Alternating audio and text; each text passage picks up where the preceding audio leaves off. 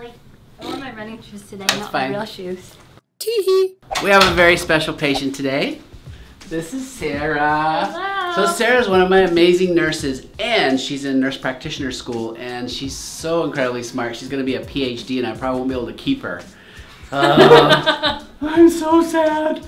Anyway, our treat for today, you've got a special surprise. I have a wart. A wart. Let's take a look at it.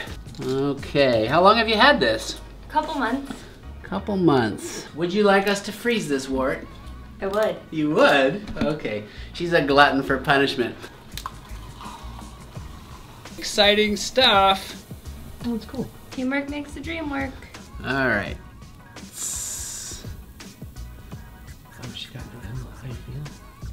Struggling. Is it hard? It's bad. no. How you feeling? I'm struggling, Doc. This is really bad. Just now starting to feel it. Okay, you're pretty tough. You got tough feet. It looks like you're a runner. I am a runner. Yep. Just finished marathon number three. You did? Yeah. Wow, that's impressive. One last time. So we've got a.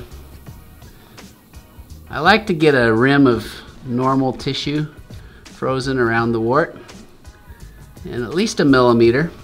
How bad is that pain? Uh, I feel it. Yep. Yeah. She smiles. She smiles through the pain. I tell you. All right, we're gonna call that good. We've got some good frozen. There's a slight chance you're gonna get a blood blister under there. Don't panic if you do. No panic. Yeah, don't panic. Your reward is you get to dump this on the floor. Yay! and it's kind of fun. Your reward for doing this just pour it on the floor, on the floor only. Happy Halloween. Hey, thanks for watching. Take care. I'm Dr. Paul.